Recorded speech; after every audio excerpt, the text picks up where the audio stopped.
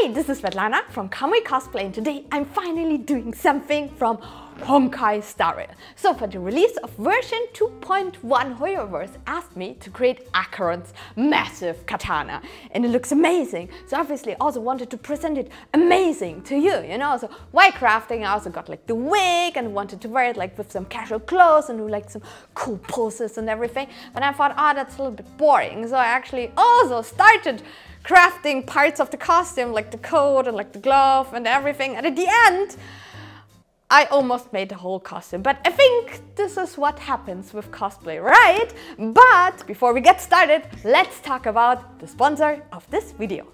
Honkai Star Rail is a free-to-play RPG with a turn-based fighting system, gorgeous character designs and an amazing story. You travel across the galaxy on a train-like starship called the Astral Express and get to explore all kinds of stunning worlds. In patch 2.1 you also get to know and unlock Acheron, a mysterious character with massive powers. Her design is amazing and I'm incredibly excited to learn more about her in the upcoming story.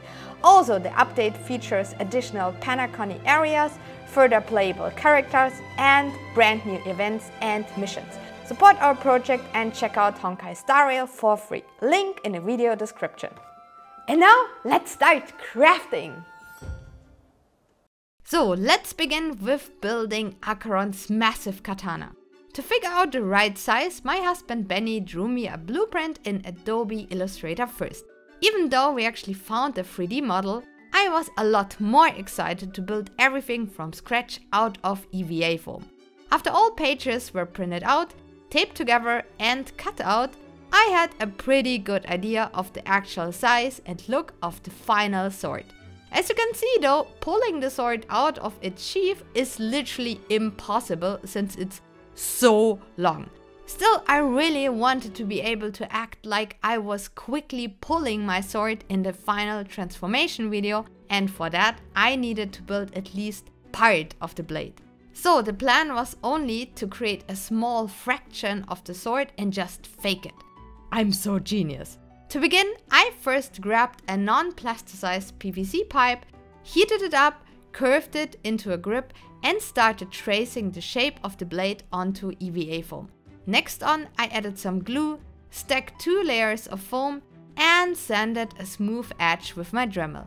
The result was still quite wobbly though, so I wanted to cover it in Worbla to add more durability. Just had to heat it up, wrap it from both sides and cut off excess material. Once I connected the blade to the grip, the true fun could finally begin. To create all the details, I mostly used Benny's blueprint and kept on cutting it into smaller pieces. I used only 2 and 5mm EVA foam and contact cement glue. By the way, you find links for all products I used in the video description. A lot of people actually think that you need a 3D printer to build stuff like this, but foam works just as well. I personally really love creating stuff with my own hands and as you can see, you really don't need many tools to make something cool. Now only some tiny details were missing. Even though it's not much work, these last steps added a ton of depth to the final look. Anyway, let's make the sheath next. This part had to be a little bit thicker, so I used several layers of 5 and 10mm EVA foam. Just had to make sure the sword would still fit in. Pro tip, if you have trouble gluing large pieces together, use baking paper for support. Well, and this was the base. You can probably already guess what I did next, so let's speed things up. The sheath was actually rather simple to build and I mostly only had to add some additional detail layers here and there. Benny's blueprint was a great help to get all the shapes right. You can find the file on our website by the way. Finally, I heat sealed the foam to prepare it for priming and this was the finished build. Yes, it was still a bit wobbly, but you know what? It's cosplay, nobody will see it anyway. So I was very happy with the result.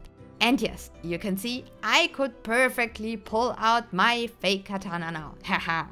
Next step, priming. As always, I used around 3 thick layers of Flexbond to smooth out the surface and hide all visible seams. Then Benny airbrushed the sheath with a white base coat while the sword became dark grey. With a little bit of green masking tape, he also added some darker areas onto the end of the sheath. Getting rid of the tape is always so satisfying. The rest of the paint was exclusively done with a fine brush and acrylics by hand. This was just far easier and faster than using a ton of masking tape and the airbrush. You just need a pair of steady hands, which is why Benny is helping me out here.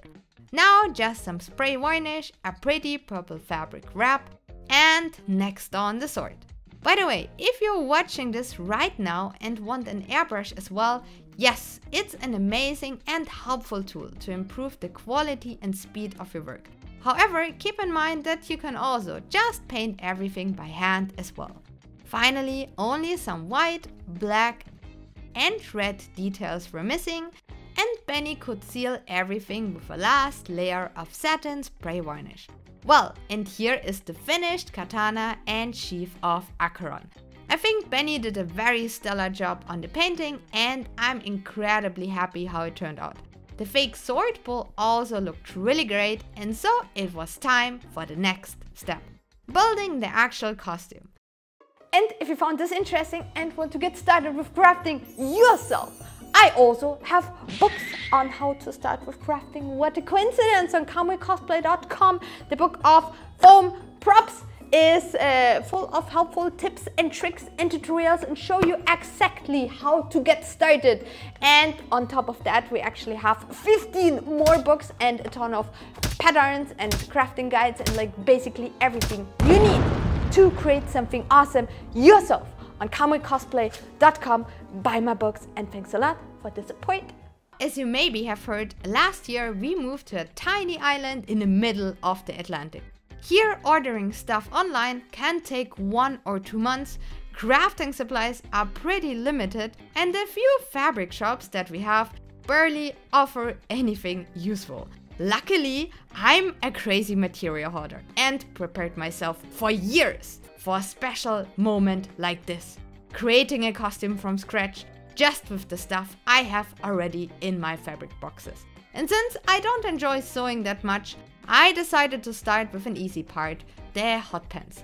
I bought a pair of simple leather pants and just cut them shorter. Next I added a zipper and some purple fabric to one leg, lowered the waistband and finish the edges. Better, right? Next I cut and sewed a few black belts and added rivets and purple details here and there. Another purple belt, another buckle and fits like a charm. Benny also used our laser cutter to cut me some additional decorations and 3D printed me a super fancy belt buckle thing for the front. Afterwards he only had to sand the print nice and smooth apply silver spray paint, add some details, and seal his work with a satin spray varnish. Looked awesome. Good old Gütermann HT2 fabric glue was everything I needed to mount the buckle on my belt. And this was it. Acheron shorts were done. All made with leftover fabrics. Yay! Now let's make some gloves. I wanted to keep this part really quick and simple and just trace the shape of my hand onto two layers of thicker lycra.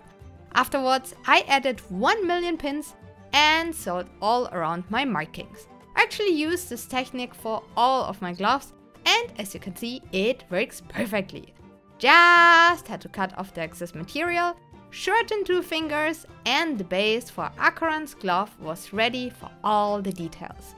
Luckily, I also had this absolutely gorgeous blue pleather lying around in one of my boxes and it was just perfect to create the blue flap for the glove.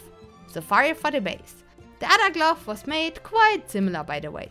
For the details, I worked a lot with tape as it's great to catch the shape and size of any details. Benny drew me then the finished design in Adobe Illustrator and cut everything out with our laser cutter.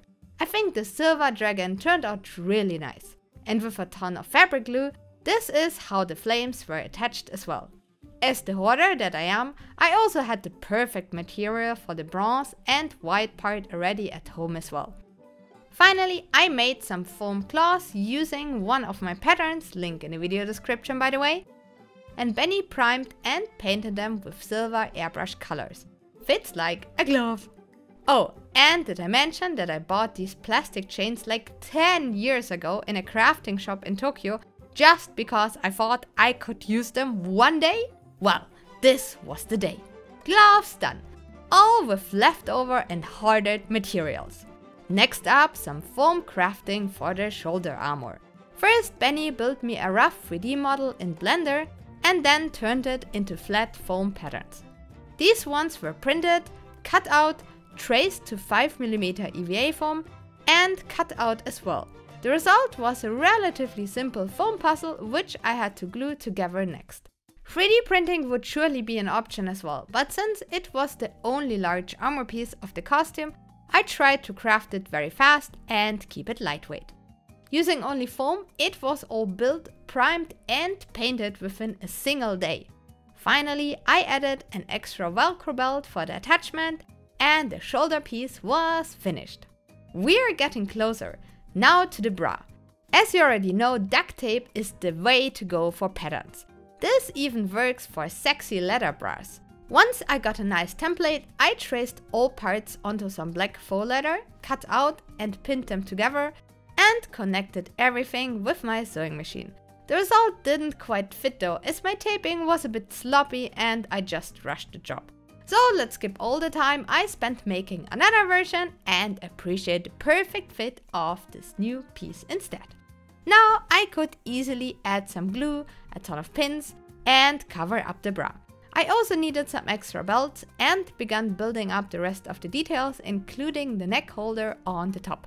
So far so good.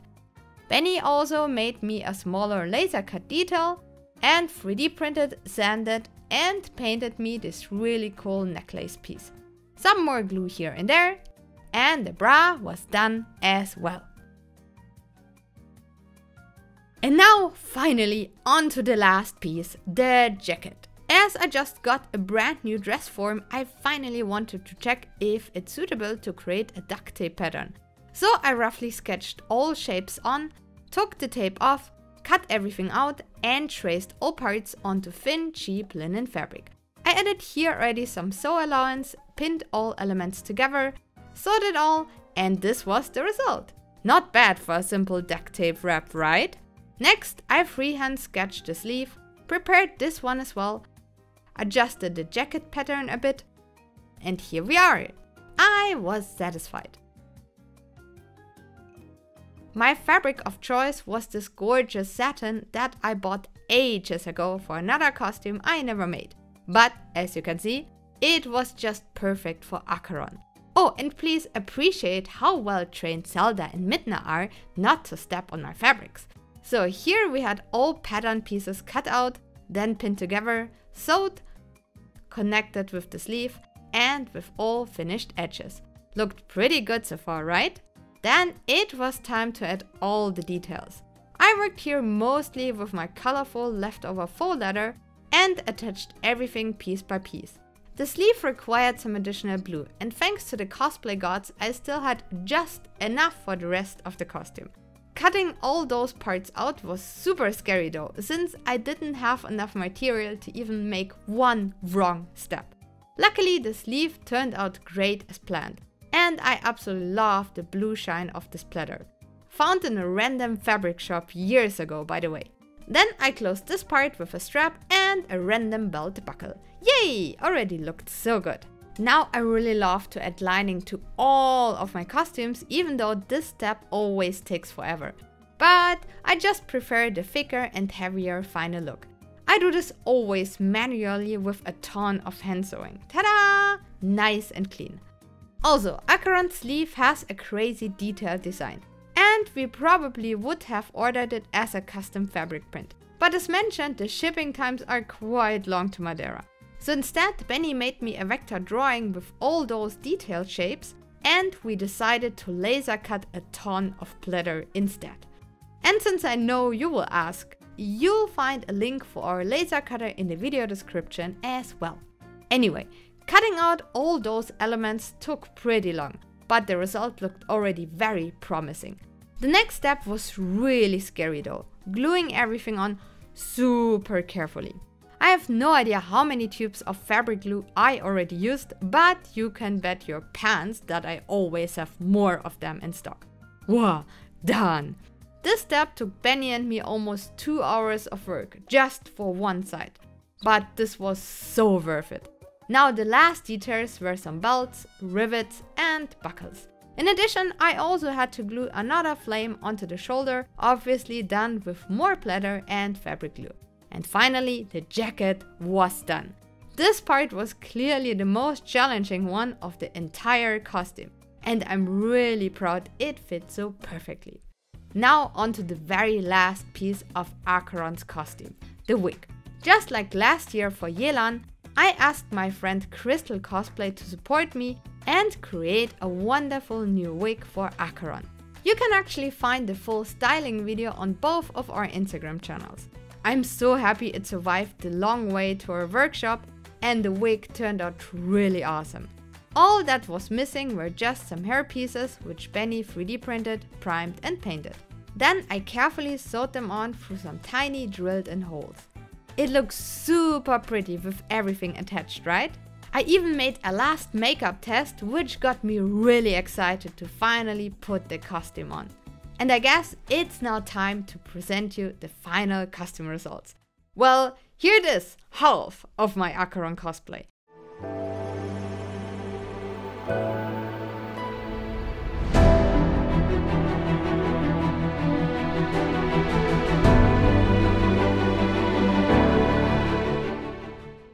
Think presenting my sword this way is far nicer than just wearing regular clothes, right?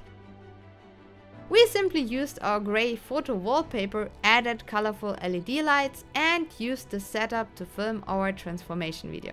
As always, Benny did an amazing job with the final video and photo. Really hope you like it! So thanks so much for watching this video. I really hope you enjoyed it. I really hope you enjoyed the final look of Acheron and maybe, maybe, maybe I will finish her one day. And yeah, I think also this project totally shows that like you know like if you go fabric shopping and let's say you find a gorgeous fabric and let's say you maybe have a husband and maybe this husband is actually called Benny and tells you oh you won't need that. Like why do you actually want to buy that? You know? Then like you actually get this. And then like 12 years later this exactly this fabric is actually the one that saves the whole project you will be right and he will be wrong okay so happy fabric shopping, it's totally fine to be a cosplay material hoarder. Yes. And finally, thanks a lot to Honkai Star Rail and Hoyoverse for this really amazing collaboration. The game is super fun, it's free and you can check it out in the link in the video description down below. Also, let me know in the comments if you have any questions, any suggestions, if you want to see Acheron done one day, or if you don't know what to write, just write down Corgi and join the Corgi squad and support us with the mysterious YouTube algorithm. Also, please like and subscribe and hit the notification bell so you don't miss any of our upcoming videos. Also, thanks a lot to all our Patreons for the support. You're absolutely amazing. And I think see you very soon in the next video. Bye bye.